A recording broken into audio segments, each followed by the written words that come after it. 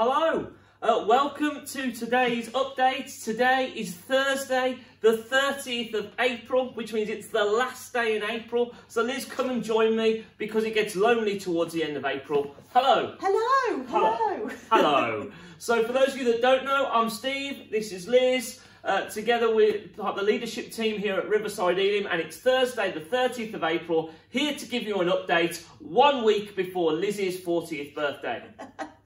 yeah, first of all, we want to say a massive thank you again for all the donations for Food yes. Bank.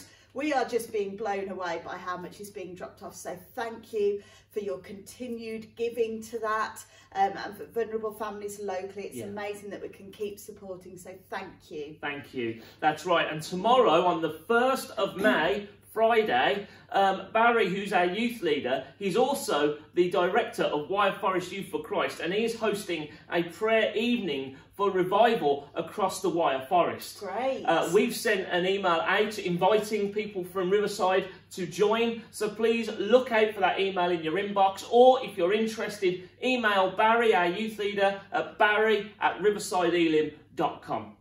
Brilliant. And also something else Barry's doing that you should have, those of you in Riverside should have had an email about, is we have got a quiz. Yes. Brilliant. A family quiz, Saturday night, 7pm. If you want to join in on that, you need to send Barry an email and he'll send you an invite. So again, that email address, just so the world will now be able to contact Barry, is barry at riversideelim.com. So drop him an email. There is limited spaces on that. Yeah.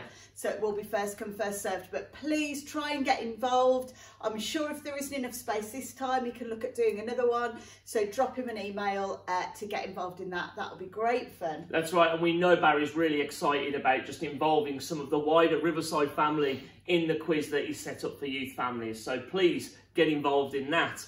Also on Sunday, we are continuing our Running with God series. Uh, I started the series, Barry spoke last week. This week, Liz will be speaking to us. But one thing that we're loving is the fact that you are sending us your exercising pictures. And remember, exercise doesn't just have to happen inside. Exercise can happen outside as well. And I meant to say that vice versa, but you get what I'm saying. So please, whether you're indoors or outdoors, whether it's raining or sun shining, please be taking pictures of yourself exercising and send them to us so we can get them up on our Running with God wall as we're all exercising together. Oh, there's been some great ones yes. this week. Just wait for Sunday, but also as well as kind of the updates that we're doing each week, as well as our gatherings online of for prayer um, last night and Sunday nights and also Sunday mornings. We're also sending you other communication. Loads. We're sending you emails. If you're part of Riverside, you should be getting things like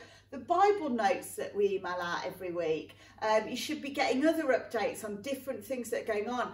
Our new Monday, Mystery Monday meeting. Ooh. Get the title right. Mystery Monday meeting that we started this week. We're sending that out to you by email as well. And um, we're going to do a finance update. That's coming out today. Yeah. Different things like that. So please, one of the things we'd say at this time is keep an eye please. on your email inbox because that's the easiest and, and quickest way sometimes for us to communicate with you over different things that are going on. So keep an eye on that. If you're not getting our emails and you want to, then please drop us an email to either Liz or Steve at riversideelim.com. So obviously Liz at for me or Steve at for Steve and we can add you onto those lists to make sure you get that. Also Zoom, we'll be sending that out today as well. Those of you that want to do Zoom next week, that also comes out on email and all the dates and times of when we're meeting for that will be on there. That's so right. keep your eyes on your email. Please, we want to stay as connected as possible, but yeah. we can only stay as connected with you as you allow us to be. So yeah. please send us your email addresses and please read your emails and stay informed.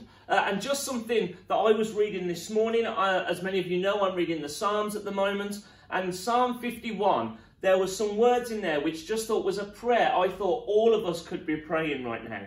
Verse 10 says, Create in me a pure heart, O God, and renew a steadfast spirit within me. Yeah. Do not cast me from your presence or take your Holy Spirit from me. Restore to me the joy of your salvation and grant me a willing spirit to sustain me. Mm. I think we all need to be praying these sort of prayers at the moment. We need God's steadfast spirit. We need His presence. We need His joy. And we need God's sustenance. So I want to encourage you today, be reading Psalm 51, verses 10 to 12, and pray them, knowing that God will meet you when we pray His word together. Yes, He will. Yes. So, thank you all for listening to our update today.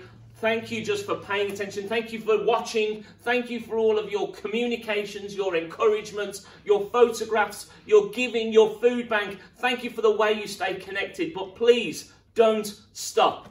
We want to stay connected together. So have a great day, have a great weekend, stay safe, wash your hands, and we cannot wait to see you soon. See you later.